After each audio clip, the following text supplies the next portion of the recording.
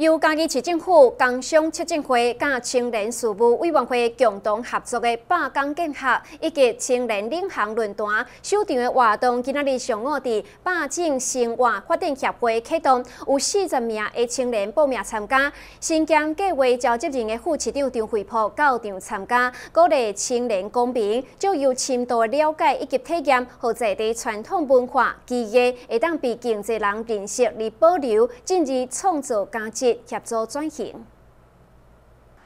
轻松学习，轻盈共创。嘉义市学习型城市推广计划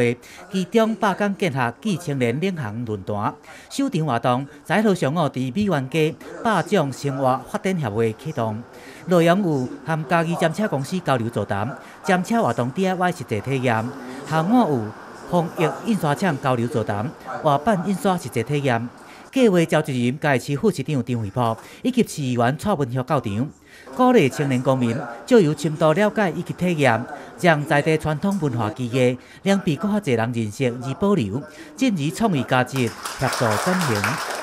百业见学，都是咱徛伫现在，也要来看未来。咱想象咱嘉义市未来的发展，是伫遮少年朋友的身躯顶。总是因爱有啥物款的专业，爱有啥物款的经验，爱有啥物款的能力，拢爱得到世世代代的经验的传承。所以今仔日这个义工作啊，建设非常有意义。我们要有文化的传承，我们要有行动的实践。我们嘉义市政府欢迎所有年轻朋友加入这个行列。近几年，各地兴起一股青年返乡热潮，其中无欠缺成功行销故乡的典范。副市长张惠波指出，政府近年来也积极推动青年返乡、青年领航论坛活动，都是希望年轻人甲长辈伫同一平台观点去激动讨论，形塑一个对家己未来发展的愿景，并借由参访传统产业的方式，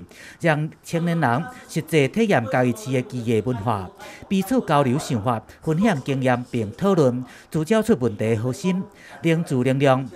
也让更多青年投入公共事务，做伙打造家己新气象。先行电视台市采访报道。